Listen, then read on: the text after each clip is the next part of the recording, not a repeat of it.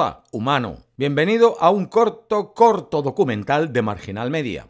La guerra de Ucrania es un desafío al sentido común, así que solo podía ser iniciada con alguna farsa. Esta se dio el pasado lunes día 21 de febrero. Ese día Putin convocó una reunión no programada en Moscú con su Consejo de Seguridad. El propósito de esa reunión era reconocer oficialmente a la República Popular de Donetsk y la República Popular de Luhansk, dos estados autoproclamados en la región de Donbass, en el este de Ucrania, a los que Rusia ha estado armando desde 2014. Si luego Putin enviase tropas a esos estados, en su razonamiento, ya no es que estuviese invadiendo Ucrania, estaría entrando en estados independientes. Tras la reunión, el presidente ruso apareció en la televisión estatal para dar un apasionado sermón sobre Ucrania, un país que según él se había convertido en una colonia con un régimen títere y que no tenía derecho histórico a existir. La reunión de Putin con su consejo fue seguida por la firma de un acuerdo sobre el reconocimiento ruso de los dos estados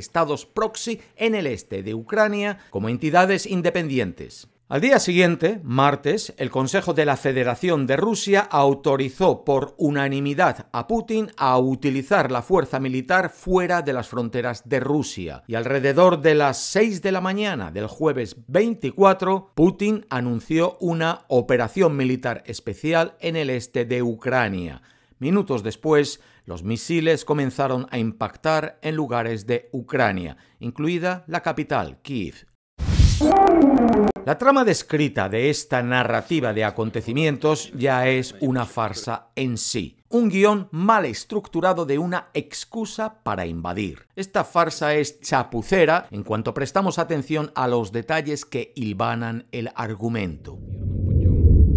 Putin se presentó a la reunión con su Consejo de Seguridad en un escenario grandioso, distanciado de sus interlocutores, solo como un dios del Olimpo. Os dejaré hablar a todos, dijo, y luego hemos de decidir qué hacer, apostilló. O sea, como si esto fuese a ser una decisión consensuada, democrática. Uno tras otro, todo el reparto de actores pasaron por la palestra sin apartarse del guion. Instaron a Putin a reconocer la independencia de las regiones y a desafiar a Kiev y a Occidente. Putin prestaba atención a los interlocutores con disimulado interés, como el director que estuviese haciendo el casting para una película. Cuando preguntó si alguien deseaba expresar una opinión alternativa, la respuesta fue el silencio.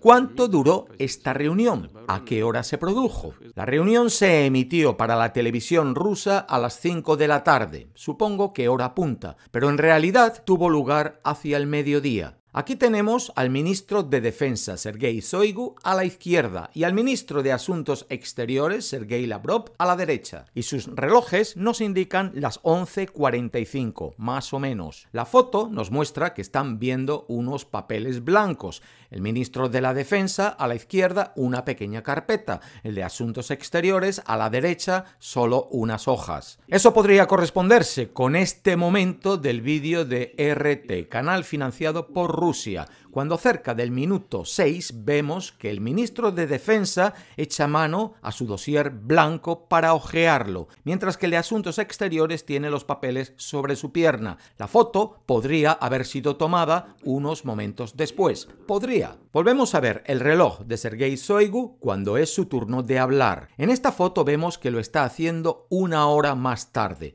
alrededor de las 12.46. Esta foto está tomada de RT y encontramos el momento en su vídeo, más o menos aquí, en el minuto 47. Las fotos marcan una diferencia de una hora entre ambos momentos, según el reloj del ministro de Defensa. El vídeo marca una diferencia de 40 minutos, una de dos. O la foto de los papeles fue tomada antes de que el encuentro comenzara, o el vídeo de RT está editado y no nos está mostrando toda la duración de la reunión. Ambas posibilidades normales. En cualquier caso, nos queda claro que esta reunión no se le mostró al público ruso en directo, sino que comenzó a últimas horas de la mañana y se prolongó en las primeras de la tarde. Entreténganse ustedes si lo desean comprobando esto en los relojes de otros asistentes. El caso es que esta importante reunión fue para decidir si Rusia reconocería dos regiones separatistas en el este de Ucrania como estados soberanos, y de ser así, se firmaría un acuerdo después de ella. Así presentó Putin los acontecimientos al mundo. En realidad, ya lo hemos dicho, era una farsa, porque Putin ya había firmado el acuerdo casi dos horas antes, a las diez y cuarto de la mañana. Putin incluso firmó el acuerdo en presencia de los líderes de las autoproclamadas repúblicas populares de Donetsk y Lugansk, Denis Pusilian y Leonid Pasieknik. Estos ya estaban en Moscú, porque sabían a qué venían, no había nada que decidir. Este es el reloj de Putin firmando el acuerdo. 10 y cuarto.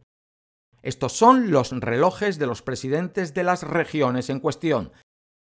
10 y cuarto y 10 17.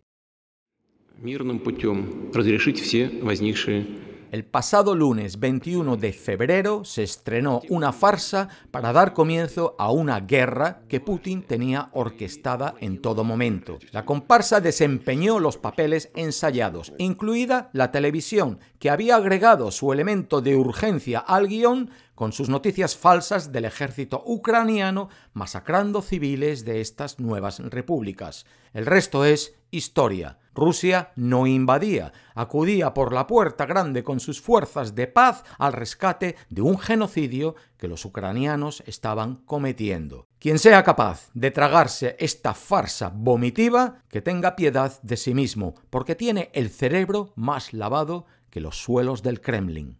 Hasta la próxima, la paz. Música